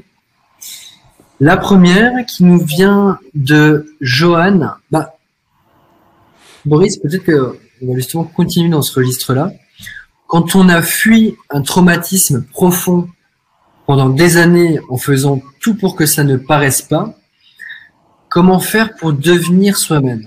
Ça s'adresse à vous deux. Qui, qui, euh, qui prend la parole? C'est une, question qui, une excellente question qui me stimule beaucoup. Allez-y, Boris. Effectivement, quand on est, quand on a un gros malheur, quand on a un traumatisme dans sa vie, la réaction normal, c'est de serrer les dents et de se taire. Donc on peut accepter ça dans un premier temps. Quand on souffre beaucoup, on, peut, on serre les dents, on est trop malheureux. Mais on ne peut pas passer notre vie à serrer les dents. Il y a bien un moment où il va falloir parler et manger. Et alors à ce moment-là, il faut rencontrer quelqu'un. Et le déni, c'est un facteur de protection qui empêche la résilience. j'évite d'en parler parce que c'est vrai que c'est désagréable. Alors, mais si j'en parle en ruminant, je vais être de plus en plus mal.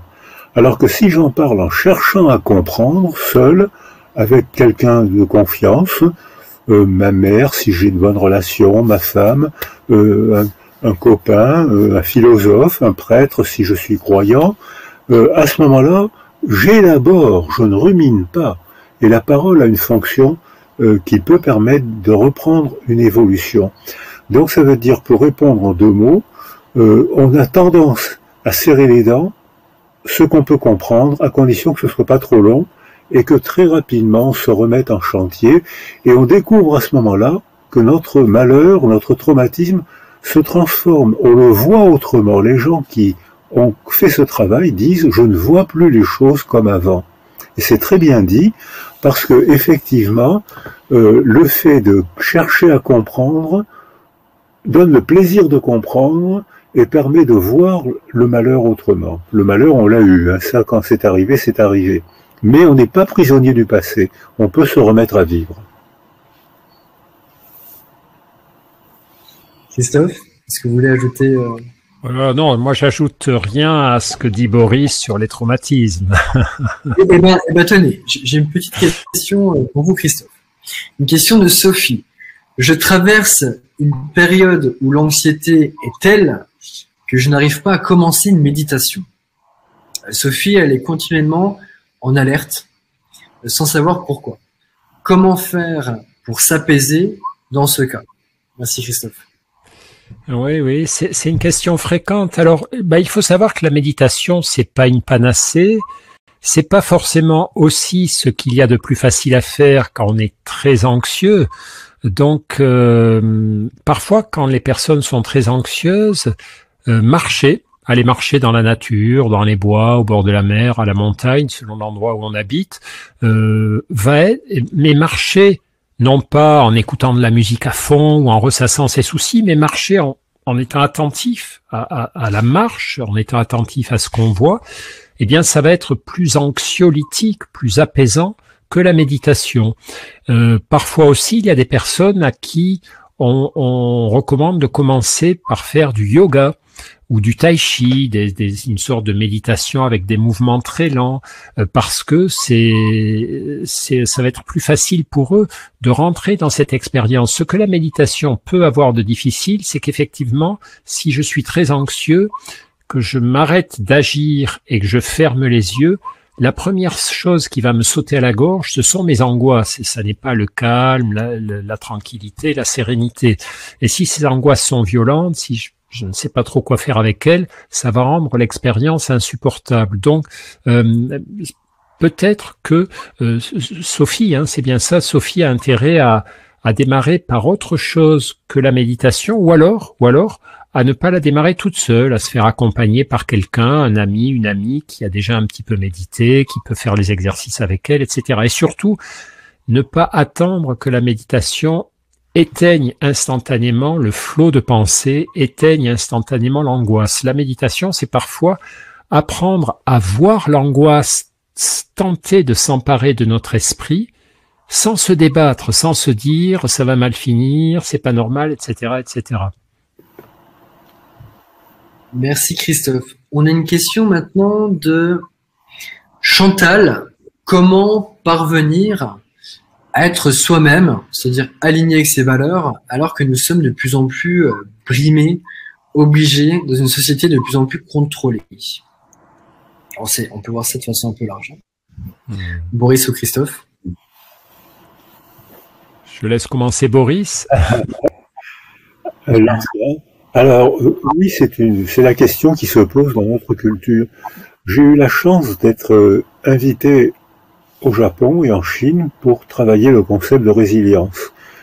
Et euh, les Asiatiques, il y avait des Coréens, tous les Asiatiques disent que le sprint est un facteur d'angoisse. Ce qui déclenche le plus d'angoisse, c'est vouloir aller trop vite. On perd du temps en voulant aller trop vite alors que les pays d'Europe du Nord ont ralenti le développement de leurs enfants et ils ont amélioré le développement psychologique de leurs enfants en dix ans ils ont fait diminuer énormément les suicides, ils ont diminué ce qu'on appelle les psychopathies, c'est-à-dire les gens qui réagissent par la colère, qui n'arrivent pas à contrôler leurs impulsions et qui se désocialisent par l'impulsion. Quand on ne peut pas s'exprimer paisiblement, euh, on crée des, on aggrave les conflits, on se désocialise. Et les pays d'Europe du Nord ont fait des évaluations. Le ralentissement apaise les gens et améliore la rentabilité, l'efficacité. Alors que la Chine, il y a quelques jours, vient de décider de ralentir les rythmes scolaires. Euh, je pense qu'au Japon, ils viennent de ils n'ont pas décidé, mais c'est en débat, de ralentir les rythmes scolaires et de ralentir les rythmes au travail. Et les pays qui l'ont fait n'ont pas diminué leur efficacité. On voit la même chose dans le sport. Certains sportifs veulent tellement avoir d'excellents résultats qu'ils se surentraînent. Il y a des fractures de fatigue, il y a un burn-out, il y a un écœurement. Et on voit que le sportif qui obtient le maximum de ses possibilités, c'est celui qui s'entraîne aux deux tiers de ses capacités. Et on voit que là, il progresse, ni parce que s'il s'entraîne pas, il progresse pas. Mais s'il s'entraîne trop, euh, il peut se faire des fractures de fatigue ou se flanquer un burn-out, ce qu'on voit se développer énormément actuellement dans notre culture. Donc il y a, je retrouve l'idée de tout à l'heure, il y a un rythme à trouver, et ce rythme, c'est pas d'aller trop vite, c'est d'aller aux deux tiers de ses capacités. Christophe, vous voulez ajouter quelque chose ou euh? ah ben là, je vois du petit lait, puisque la philosophie de, la méditation, c'est effectivement de prendre du temps pour ne rien faire. Euh, on, a des données euh, incroyables. Tu connais sans doute, Boris, cette étude où on demandait à des volontaires de rester pendant un quart d'heure dans une pièce à ne rien faire. Et on leur donnait comme option, on disait, si, si vous ennuyez trop, vous pouvez vous administrer vous-même des petits chocs électriques. Et on s'apercevait que deux tiers des garçons et un tiers des filles, plutôt que de rester un quart d'heure sans rien faire, c'est-à-dire sans musique, sans écran, sans interlocuteur, préféraient tester ce que ça faisait de prendre des décharges électriques. Donc, ça en dit long sur le fait qu'on est trop dans la nécessité de, de, faire quelque chose, de remplir notre esprit par des actions et dans l'incapacité de se dire mais c'est génial de se poser, de respirer, d'écouter, de récupérer et euh, c'est toujours ce retour à cette respiration à la fois physique, existentielle dont, dont on parle depuis, depuis un moment. Merci euh, Christophe. Je vais simplement profiter en, une minute pour, euh, pour répondre à une question concernant le, le passé limité. Combien de temps en moyenne consacré aux, différentes euh, masterclass pour les appliquer? En fait, j'ai envie de vous dire, ça dépend aussi de votre temps disponible. Et, nous, ce qu'on ce qu'on met en place chez Mentor Show, dès que vous commencez à suivre une masterclass, par exemple la masterclass de Boris ou la masterclass de Christophe, c'est quelque chose qu'on vient de lancer. Vous allez automatiquement recevoir par email pendant 30 jours des actions très pratiques. On vous focalise vraiment sur le plus important en fonction de vos objectifs. Par exemple, ça peut être de soulager le stress, ça peut être de réduire l'anxiété, ça peut être de retrouver confiance en soi. Et donc, on va vous envoyer pendant 30 jours des emails avec des actions pratiques à réaliser en moins de 15 minutes chaque jour qui sont directement évidemment reliés au contenu des différentes masterclass, ce qui permet comme ça, en fonction de votre temps disponible, eh ben, de vous focaliser uniquement sur sur le plus important et de ne pas euh, de ne pas tout regarder d'un coup parce que forcément vous avez aussi vous avez aussi un peu de temps. Et puis ensuite quelque chose qu'on a lancé euh, récemment et, et, qui est euh, adoré par tous les membres du Pass Limité c'est un accès à un groupe Facebook privé où sur ce groupe, vous allez pouvoir un petit peu avoir des, vous allez avoir des défis collectifs chaque semaine. Alors un défi par exemple, ça peut être sur le stress. Un autre défi, ça peut être sur comment soulager l'anxiété. Un autre défi, ça pourrait être sur comment faire un pas de plus vers une meilleure confiance en soi. Et donc chaque semaine, vous allez recevoir des défis collectifs. Vous allez pouvoir échanger également avec la communauté, avec les autres membres. Vous allez recevoir de la motivation, parce que parfois on est motivé au début et puis euh, le temps passe, les jours passent, les mois passent. C'est compliqué parfois de, de rester motivé dans le temps. Là, vous rejoignez une vraie famille, vous rejoignez des gens qui ont envie, comme vous, d'avancer, qui peut-être aussi étaient un petit peu, comme c'était mon cas avant, qui avaient un, un, problème à résoudre. Moi, c'était ma timidité. Et justement, le fait de vous entourer, comme le disait, comme le dit si bien Boris, bah, c'est tout à fait possible aujourd'hui en rejoignant le, ce groupe qu'on a mis en place pour vous. Et puis, au-delà de ça, on, assure vraiment un réel accompagnement, c'est-à-dire que vous aurez des retours sur vos actions, sur ce que vous mettez en place, une application, des retours par notre équipe chez Mentor Show, des retours également de la part des autres membres, parfois aussi des retours par les mentors pour vous permettre de progresser un peu plus vite que la moyenne tout simplement. Ça, c'est pour les bonus qu'on met en place également avec le pass illimité. Et puis, je vous le rappelle, aujourd'hui, avant la fin de la euh, conférence, vous avez 100 euros offerts sur le pass illimité. Boris, une question, ou, Christophe, une question cette fois-ci sur l'anxiété. Qu'est-ce qu'on peut euh, mettre en place quand on se sent un petit peu euh, anxieux, surtout avec notre société moderne, quels seraient vraiment les, premiers pas qu'on pourrait faire pour soulager notre anxiété, pour, calmer un petit peu notre anxiété? C'est une question pour Christophe, mais je vais y répondre. Donc je vais y répondre.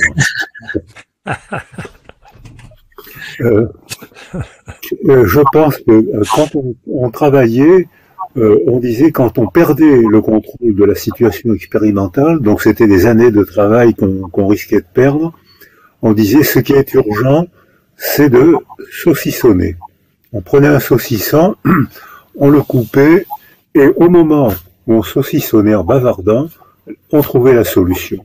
Quand on est anxieux et qu'on souffre, parce que l'angoisse c'est une, une véritable souffrance physique et psychique, euh, on souffre tellement qu'on se précipite et on aggrave la souffrance, on aggrave l'angoisse. Et que ce qui est urgent, c'est justement de faire quelque chose. effectivement, Christophe disait tout à l'heure, l'action est un excellent tranquillisant chimique. Si on fait de la marche à pied, notre corps, les muscles sécrètent une endorphine qui est un, qui est un équivalent chimique naturel, celui qu'on sécrète. Et ensuite, la parole donne sens. Alors là, il faut chercher à comprendre ce qui nous est arrivé. Mais quand on va à son rythme, pour la marche ou pour la réflexion, on peut calmer son angoisse alors qu'on l'aggrave quand on veut résoudre. On souffre tellement qu'on veut résoudre tout tout de suite, ce qui aggrave l'angoisse. Mmh. Absolument. Et alors, pour, compléter, je, crois qu'il y a déjà surveiller son mode de vie pour ne pas consommer trop de choses angoissantes. Les, parmi les choses angoissantes qu'il faut éliminer de son régime quotidien, il y a la surconsommation d'informations, il y a la surconsommation de réseaux sociaux, euh, euh, non pas qu'il ne faille pas être informé de la marche du monde, mais c'est pas la peine d'être informé à G continu. S'informer de temps en temps, c'est très important. Euh, rester branché sur les chaînes d'infos continu, c'est terrible parce qu'on est exposé à des catastrophes, à des choses douloureuses sur lesquelles on ne peut pas agir. Et donc, si je suis confronté à quelqu'un qui souffre et que je peux l'aider, ça n'est pas angoissant. C'est, enfin, angoissant de le voir souffrir, mais ça me désangoisse de pouvoir l'aider. Voir des gens souffrir sans rien pouvoir faire, c'est catastrophique. La consommation de réseaux sociaux est angoissante parce qu'elle nous met sans arrêt en compétition avec des gens parfaits, avec des gens performants, avec des gens géniaux. Et donc, ça aussi, c'est quelque chose d'angoissant. Donc déjà, repérer un petit peu tout ce qui représente des sources d'angoisse évitables. Il y en a qui le sont plus difficilement. Après, comme disait Boris, mettre en place des modérateurs naturels euh, d'anxiété, des anxiolytiques bio, la marche à pied, le sport, le lien social, les rigolades avec les copains, les films comiques, le fait de jouer de la musique, de bricoler, de jardiner, tout ça, ça n'a l'air de rien. Mais si je ménage dans mes journées régulièrement des espaces pour ces activités-là, ça va faire du bien. Et Boris avait raison de souligner que ça avait un effet biologique, réellement. Hein, c'est pas de l'autosuggestion. Ça modifie l'équilibre des neurotransmetteurs dans notre cerveau. Et puis après, il y a le cœur du réacteur. Effectivement, il y a qu'est-ce que c'est que l'anxiété dans ma tête? De quoi elle est composée? L'anxiété, c'est trois ingrédients toxiques. C'est l'anticipation constante. Je ne suis pas dans le présent, mais je suis dans que va-t-il se passer plus tard? Mais à la limite, s'il y a que l'anticipation, c'est pas grave. C'est bien d'anticiper un petit peu, au moins de temps en temps, au moins à temps partiel. Mais le problème, c'est qu'il y a aussi l'adhésion au scénario catastrophe, c'est-à-dire j'anticipe tous les problèmes possibles, mais je me mets à y croire. Et le troisième problème, c'est la rumination. J'anticipe tout le temps les problèmes, j'y adhère, et puis je les ressasse.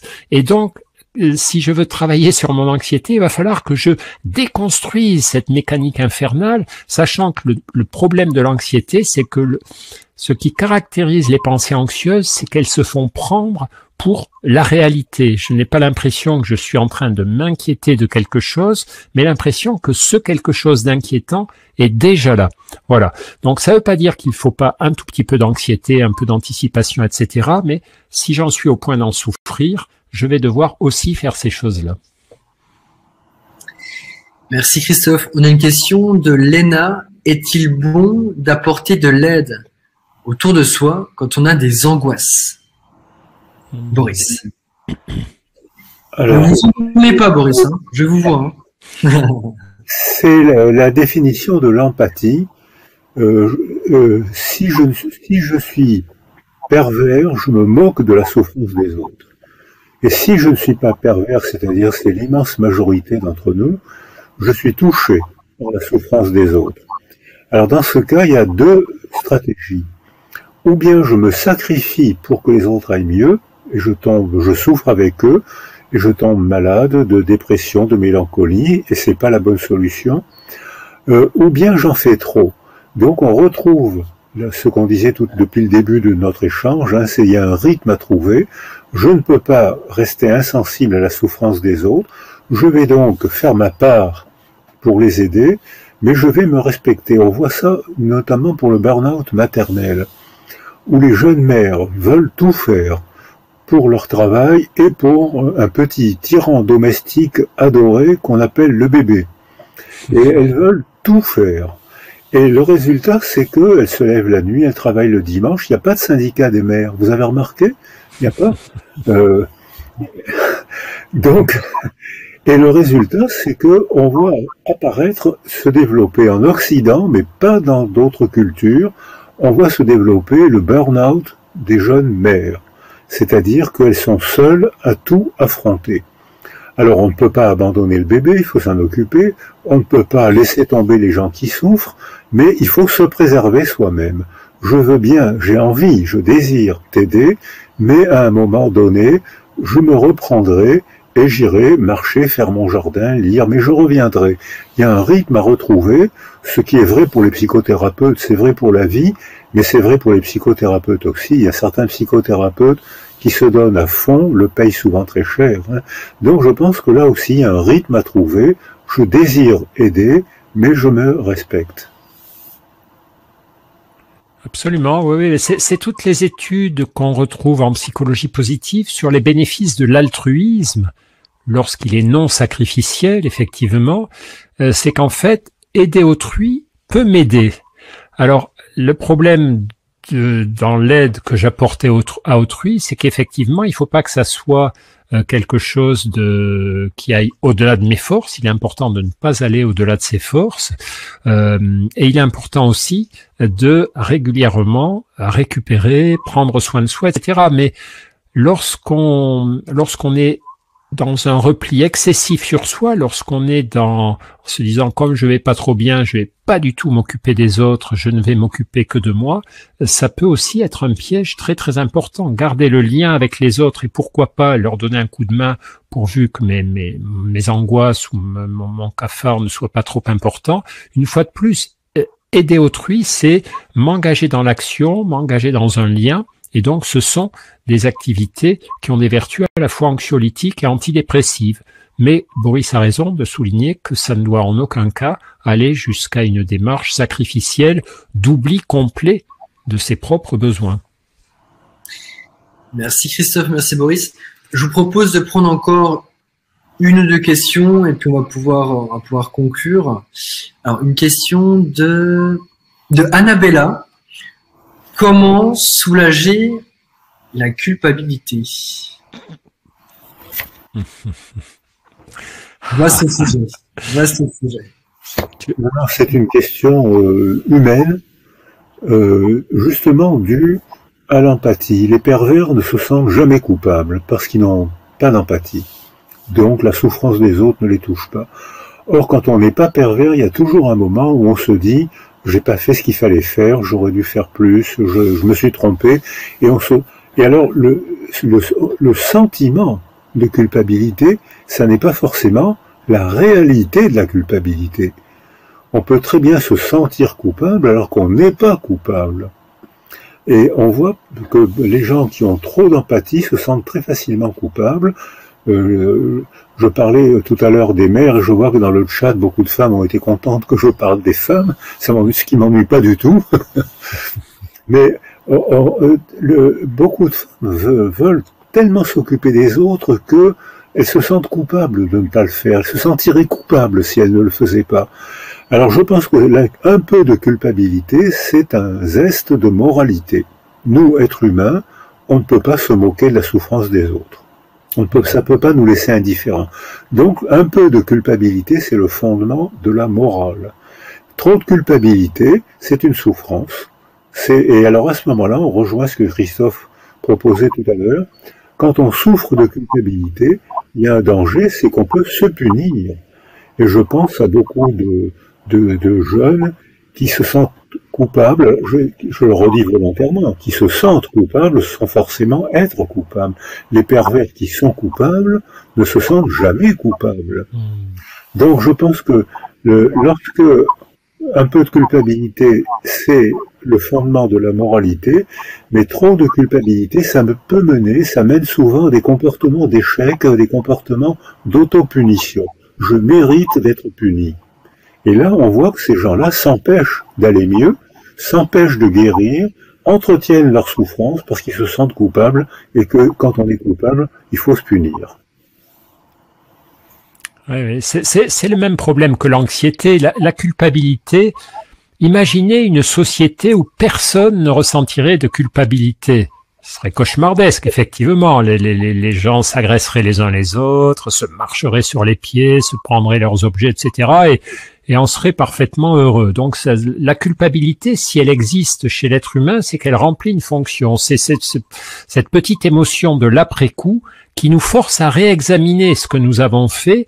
Et pour le meilleur, c'est la culpabilité qui nous fait dire non non là j'ai j'ai pas été sympa avec Boris je vais l'appeler pour m'excuser et Boris va être très content voilà et euh, pour le pire c'est je vais me ravager en disant tu es odieux, tu es affreux, tu fais du mal à tout le monde, etc. Donc c'est le bon usage de la culpabilité plus que son absence ou sa présence qui est en jeu. Mais c'est comme pour l'anxiété, comme la, la plupart de nos émotions douloureuses. Allez, j'ai encore sélectionné une dernière question. Merci beaucoup à vous deux. Et puis après, on va pouvoir, on va pouvoir conclure. La question, c'est la suivante. La question qui nous vient de Sébastien. Comment faire pour réussir à intégrer toutes ces préconisations, méditation, résilience, etc., dans notre quotidien quand on est euh, beaucoup sollicité avec la famille, les amis, euh, le travail, les sorties, la télé. Est-ce que vous avez des, conseils pour, euh, pour créer des habitudes au final? C'est la question de Sébastien. Mm-hmm. Christophe André a sûrement des idées. Allez, Christophe. Alors, ouais, non, ben c'est c'est c'est c'est un problème auquel, comme la plupart des gens, j'aurais été confronté toute ma vie. Quoi, comment trouver du temps pour méditer chaque jour, pour faire un peu d'accordéon, pour faire du sport, passer suffisamment de temps avec mes enfants, etc., euh, etc. Dans mon cas, le, le le mot magique pour ça, ça a été non arriver à dire non à des sollicitations, à des demandes, c'est-à-dire c'est renoncer. Je, mes journées ne faisant que 24 heures, je, n'ai jamais pu multiplier, faire tout ce que je voulais de mes journées sans décider que, ben voilà, je regarderai moins euh, les infos, je lirais moins de choses. À un moment de ma vie, c'était affreux. J'avais euh, sur ma table de chevet en permanence des tas de revues, des tas de livres euh, que je devais lire. Et le soir, je me couchais, j'étais déjà fatigué, je regardais cette pile de trucs, je me disais, tu dois lire cette revue, tu t'es abonné, tu reçois toutes les semaines et, et, tu ne les lis pas. Et, tout, un jour, je me suis dit, mais tu es le roi des cons quand même. C'est-à-dire, si tu, tu, tu n'en finiras jamais. Donc, tu dois dire non à l'obligation de lire cette revue. Tu dois dire non à, à cette invitation chez quelqu'un qui est sympa, mais euh, si, si tu acceptes tous les soirs d'être invité chez des amis, à quel moment tu seras avec tes enfants, à quel moment tu auras... Et donc, je crois que arriver à renoncer à certaines activités pour mieux en faire d'autres, c'est quelque chose de fondamental. Après, il y a effectivement euh, ben, se donner des rendez-vous, décider que euh, euh, bah, le, je sais pas, le samedi de, de telle heure à telle heure, c'est c'est notre, euh, on se donne deux heures pour soi, etc., etc. Mais il y a, y a, rien de, de, de, bien magique dans tout ça. En tout cas, moi, le non et le renoncement à, à, à vouloir tout faire et, à tout pratiquer aura été ce qui m'a permis de mieux faire certaines, certains de mes choix. Boris, vous êtes d'accord avec ça? Totalement, j'ai la même pathologie que Christophe. Il, vient de parler de moi. Il croit avoir parlé de lui, en fait, il parle de euh, une pile de livres, de revues à lire. Et euh, alors, quand je quand je, le, je vais à mon rythme, j'éprouve du plaisir à les lire. Mais quand je veux tout lire, j'éprouve une sensation de crispation en, en voulant aller trop vite. Donc, effectivement, ce qu'on a dit depuis le début de notre rencontre, hein, il y a un rythme à trouver, une lenteur, sortir, travailler. Il y a un rythme à trouver pour se sentir en harmonie avec soi-même. je crois qu'on a traité que ça depuis le début de notre échange.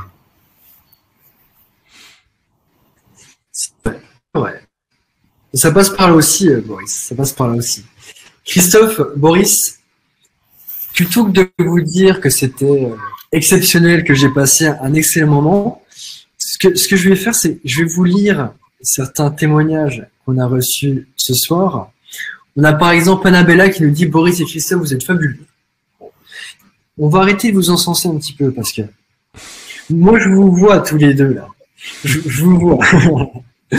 Annabella qui nous dit Boris et Christophe, vous êtes fabuleux. Merci pour ce que vous nous apportez. Merci beaucoup. Claire, c'est tellement super de les écouter tous les deux ce soir. Cécilia, tellement génial. Nadia, merci pour cette conférence très intéressante.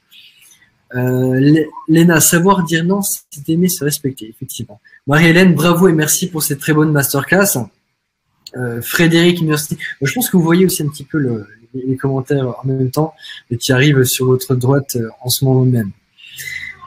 Boris, Christophe, je voulais aussi personnellement vous remercier et, je vais, euh, pour conclure, vous laisser la parole mène ensemble une mission très importante. Alors chacun d'un moyen un petit peu euh, différent. Vous, avez euh, tellement d'expérience. Je dis toujours à, Léo et puis euh, et puis et puis à tous ceux qui travaillent chez Mentor Show que vous êtes vraiment nos modèles entre guillemets. Et, là j'ai envie de vous laisser la parole. Dites-nous un petit peu comment s'est passée notre relation, pourquoi aussi vous avez souhaité vous investir dans, dans des cours en ligne avec Mentor Show. Je pense que ça peut être aussi intéressant que ceux qui nous écoutent, parce qu'on a la chance aujourd'hui d'organiser ce type de conférence euh, à travers euh, tout ce qu'on fait à, côté. Peut-être Christophe, pour commencer, si vous pouvez faire un petit, euh, un petit bilan de, de, tout ça, nous dire ce que vous en pensez. Et puis après, je vous laisserai conclure tous les deux sur, sur cet événement.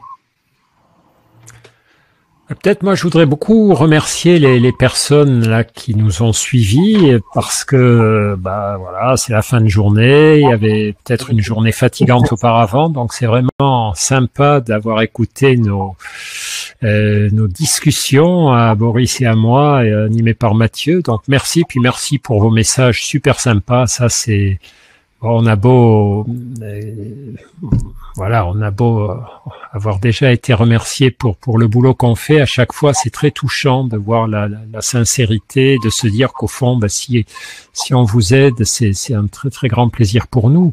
Après, bah, sur le boulot qu'on fait avec Mentor Show, ouais, ouais moi je, je ce que ce que pourquoi j'ai apprécié de travailler avec Mathieu, Léo et l'équipe de Mentor Show, ben, euh, d'abord j'avais jamais fait.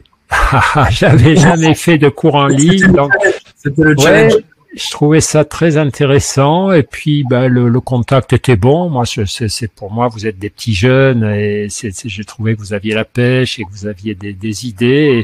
Et, et, ça m'a fait plaisir et l'ambiance était bonne et j'ai l'impression que ce qu'on a fait était bien. Donc voilà, je vais pas prendre plus de temps, plus de temps que ça pour pour rappeler pour rappeler tous ces pour rappeler ça.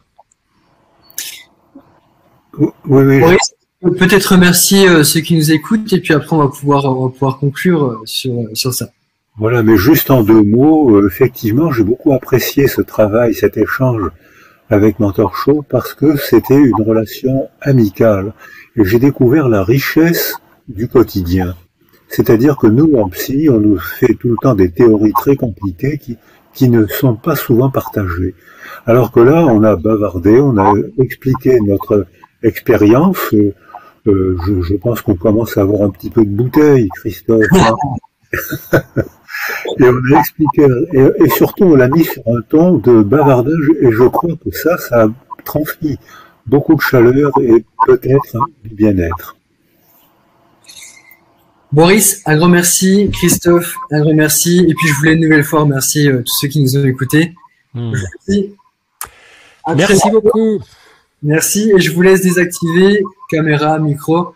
Vous commencez à avoir l'habitude maintenant. Merci à vous deux et merci à tous les participants. Bonne soirée à tout le monde. Voilà.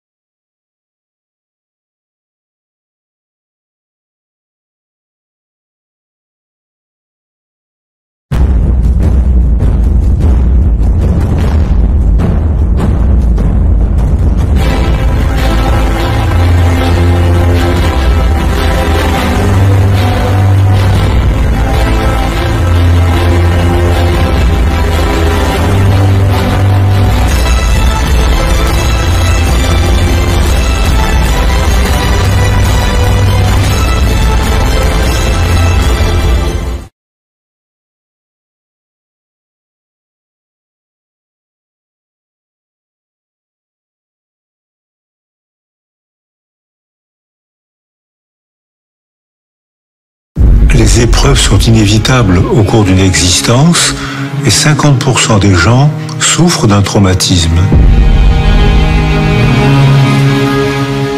J'ai été motivé pour la psychiatrie au cours de la Seconde Guerre mondiale. J'ai perdu presque toute ma famille. J'ai été arrêté et emprisonné à l'âge de 6 ans et demi tout le reste de ma vie, il a fallu que je cherche absolument à comprendre ce phénomène de façon à pouvoir reprendre un peu de liberté intérieure. J'ai écrit une soixantaine de livres grand public et professionnels, tous consacrés à la réparation de la blessure. Je me suis donc intéressé à la résilience, qui est une définition extrêmement simple, c'est la reprise d'un nouveau développement après un traumatisme. après un traumatisme, qu'est-ce qu'on fait? On peut se soumettre, et dans ce cas-là, c'est le syndrome psychotraumatique, ou on peut se bagarrer pour se remettre à vivre mais pas comme avant puisqu'on a été traumatisé. J'ai spécialement écrit pour cette masterclass des méthodes, des applications pratiques, des travaux sur la résilience et je vais essayer de les partager avec vous. Comment dépasser un traumatisme, comment cesser de ruminer son passé en ne pensant qu'à la souffrance traumatique. La pire des violences, c'est la solitude. La neuroimagerie maintenant mesure comment un enfant régulièrement insulté provoque des anomalies du corps calleux, c'est-à-dire des fibres qui passent d'un hémisphère à l'autre et qui permettent l'harmonisation des informations. Si vous souhaitez vous réconcilier avec vous-même et avec votre passé, vous pouvez suivre ces masterclass où vous serez en mesure de réorganiser votre vie et de reprendre une nouvelle existence. Je suis Boris Cyrulnik et voici ma masterclass.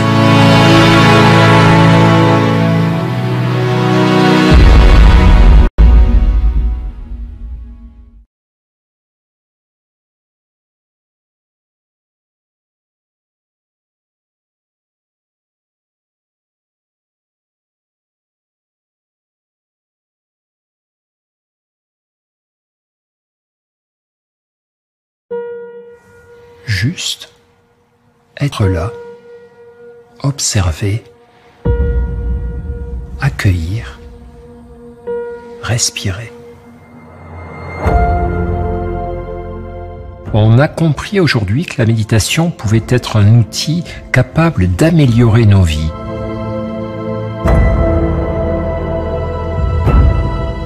La méditation peut nous aider à améliorer nos capacités d'attention, elle peut nous aider à mieux faire face au stress et nous permettre de développer tout un tas de qualités très importantes d'équilibre émotionnel, de bien-être. Dans cette masterclass, j'ai souhaité vous proposer des exercices très concrets euh, destinés à être utilisés au quotidien pour vous aider à mieux vous endormir, pour vous aider à mieux affronter les moments de stress. J'ai souhaité que ce cours en ligne soit vraiment accessible même aux personnes qui n'avaient aucune idée de méditation au préalable, mais qu'il puisse être aussi intéressant pour les personnes qui savent déjà méditer. Je commence à observer un petit peu les pensées qui tournent à mon esprit, qui sont des pensées stressantes, de j'y arriverai pas, je suis trop fragile,